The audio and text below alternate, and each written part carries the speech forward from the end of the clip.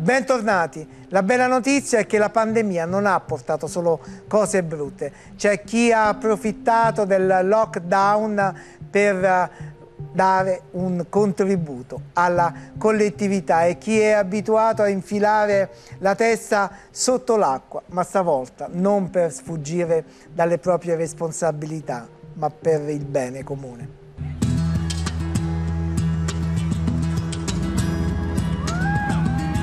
Per un livornese sarebbe impensabile vivere la sua Livorno senza, senza questi canali e senza le sue fortezze.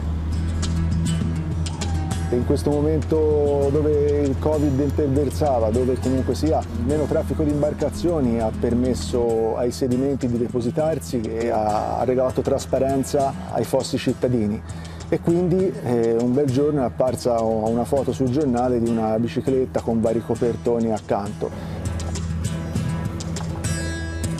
Mettiamola così, invece di star fermi facciamo, facciamo qualcosa di buono, facciamo qualcosa di bello per la nostra città. Ok, io ti sento bene, ti sento benissimo. Vai.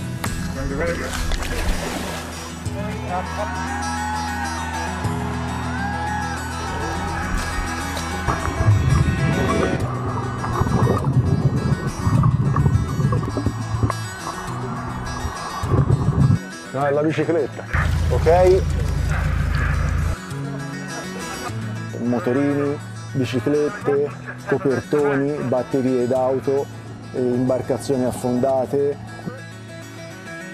tavolini, seggiole, fusti della birra, bottiglie di birra, una discarica vera e propria. Considera che sei arrivato all'altezza del ora puoi stare anche più vicino, diciamo. Hanno recuperato 10 cartelli stradali, qualche cassonetto, due motorini, varie biciclette, ruote di tutti i generi, fusti di birra, tavoli, sedie, oltre 4 relitti di imbarcazioni. Ecco, pensate se ciascuno di noi facesse il suo piccolo gesto quotidiano per la comunità quanto futuro che abbiamo rubato ai nostri figli potremmo restituire.